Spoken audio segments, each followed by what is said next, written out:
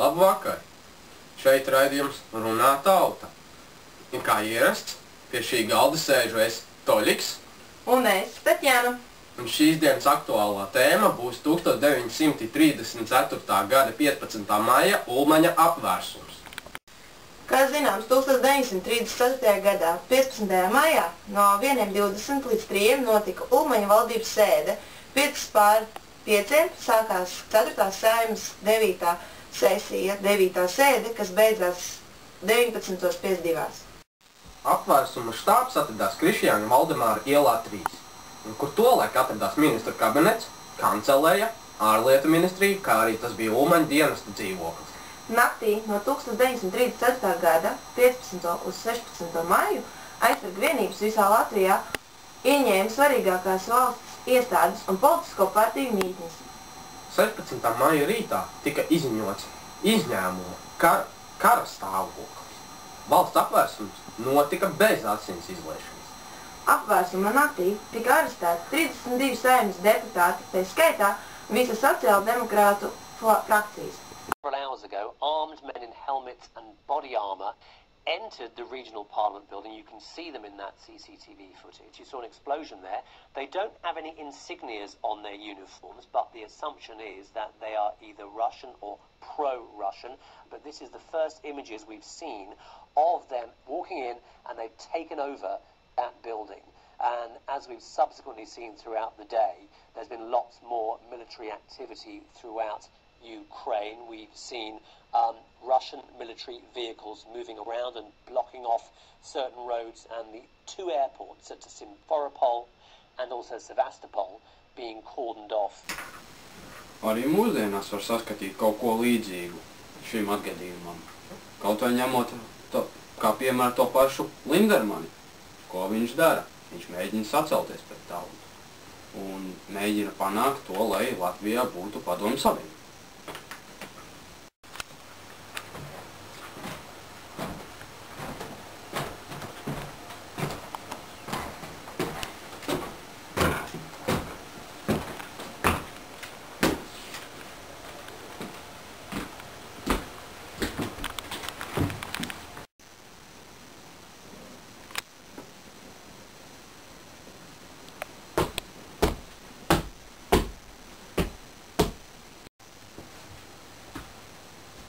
Ko tu šeit dari? Atnāca sievietes tautastāvu režīmu Ar kādām tiesībām un kāds šeit iekļuva? ar armijas palīdzību. Kāda armija? Ar ģen, ģenerāļa valodu prie, priekšgalā mēs savācām vīrusu un ieņēmām šo ēku. Un kas tagad notiks? Um, Šis krēsls ir pārāk silts, lai es to pamestu. nē, šis krāsas tagad piederēs man. Kā? Un Izskaidro. tā, es tagad būšu prezidents. Vai nu tu, vai nu tu pazudīsi prom, vai es tevi ieslodzīšu politieslodzītajā nometnē. Tev Nu, skaidrs? Ne, citas galīgi nekam nedara. Pazūdi! Ātri! Savāc šito amatu, bet tev tas nederēs. Tici man, tu nolaidīsi valsts līdz pagrimumam. Ko tu teici?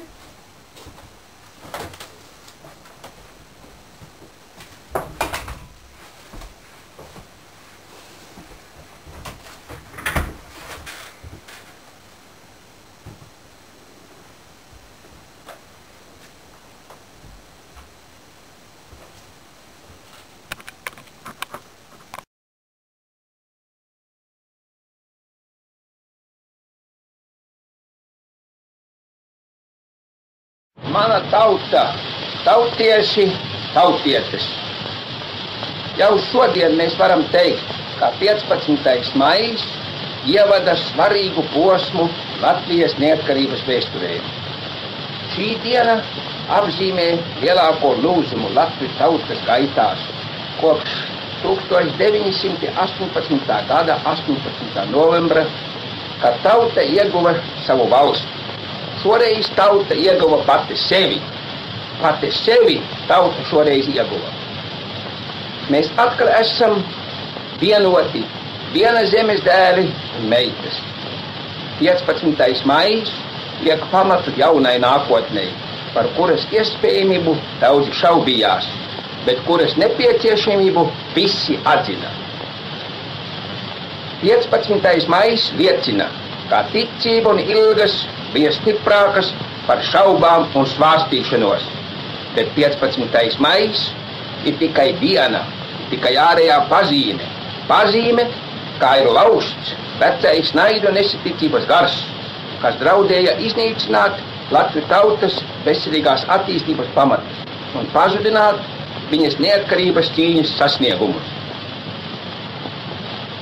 Viena diena tomēr nevar grozīt to, kas attīstījies 16 gados. Nevar iznīcināt to ēku, kas būvēta uz 18. novembra pamatiem, iekšu šī ēkas celšanas gaitu nevarēja mūs vairs apmierināt. Vai 15. maijā ir noticis kāds brīnums, vai reālā dzīve nepazīst brīnumus. Katrā ziņā šī diena tomēr nesūsi vislielāko un viskrāšņāko. Attausis ir jauns gars, modies atkal tas gars, kas savā laikā palīdzēja likt mūsu valsts pamatus un kas palīdzēs tagad celt mūsu valsts ēku tā, kā tas atbilst šī jaunā un tomēr vecā gara gribai. Latviju tautas gars ir atmodies, tautas gars ir atmodies, Latviju tautas griba ir izpaudusies, Latviju tautas gribai jābūt turpmāk jānotiek.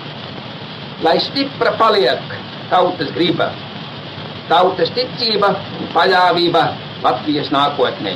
To mēs novēlējām tautai liktenīgajā stundā, kad izšķīramies ar vecās kārtības pārtraukšanu, ķeroties pie ārkārtējiem līdzekļiem, lai novērstu postu un jukas. Tai brīdī mēs ticējām, kā mēs izpildām tautas gribu, bet šodien mēs zinām, ka mūsu ticība bija pareiza. Lai šī ticība un savstarpējā uzticība starp mums visiem ne tikai neizustu, bet jo tālāk, jo vairāk augstu nostiprinātos, tas lai būtu mūsu pirmais kopējais un savstarpējais novēlējums. Pilsoņi un pilsonis, Latvi dēli un meitas, tūkstošiem, desmit un simt tūkstošiem, jūs ar darbiem un vārdiem esiet apliecināti. Sveicināti! Šeit aizstoļiks, es tev neies tā kā. Pašāk mēs atrodamies Siguldas pilsētas vidusskolā, un es esmu noķēris īpašu cilvēku, ar kuru man būs intervija. Un mēs uzzināsim viņa viedokli par Kārļa Ulmaņa apvērsu. Sveici! Arvīts. Nu tā, ko tu vispār domā par to apvērsu? Kā, kā tas notika? Nu, kā tev izskatījās tā gaita? Kā, kā? Un kā, kā Ulmans domāja, ka viņam, kā Albertam Kresne bija laiks pamest šo posteni. Tāpēc viņš ar savu armijas palīdzību atnāca uz saimu un padzina viņu prom. Tā vienkārši. Jā, Nu, bet tas nebija iespējams. Tomēr viesis atradās diezgan augstā matā, viņš tomēr bija prezidents. nu, bet Un ar, tik bet, viegli, tik viegli nevarēja. bet ar armijas palīdzību visu panākt. Kādā To veidā viņš vispār to armiju dabūja? Nu, nu ne jau uz ielas. Nu, jā, uz ielas tas ir fakts, ka nē. Bet, Vienkārši savāc cilvēks, kuriem bija pierēdies, viss, kuri, kuri gribēja redzēt Ulmani. Es pieņemu domu, ka tie varētu būt pat zemnieki, jo viņi, viņi ticēja Ulmanim. Un, un, ar, un, un ar to, ka nu, zemnieki ražoja savu pārtiku, vēl tā attīstījās tā ekonomika. un- ekonomikas bet, kā, bet kāpēc tieši šādā veidā? Varēja jau sa- savādāk ceļu iet, lai pa- panākt to pašu. Nu, es jums varu pilnībā, pilnībā piekrīt. Varēja, varēja viņš šo uzrīkot, nu tās kā prezidenta vēlēšanas, lai tauta iecēt savu prezidentu, nevis ar armijas palīdzību. Labi, bet kā tev liekas, vai vispār armija var kaut ko ietekmēt, piemēram, arī tajā pašā, ja, ja mēs mūsdienās mēģinām gāt ar prezidentu ar armijas palīdzību, tas varētu kaut ko kā, kā ietekmēt to lēmumu? Ka jā. Ka jā. Labi. Mierīgi. Ja pieņem, tad jā, mierīgi. Labi, liels paldies tev par interviju. Paldies par Paldies par tavu viedokli. Nu, ar labu dienu. Ar labu vakaru. Arī no Tatjānas. Šis bija raidījums Runā tauta. Uz saredzēšanos.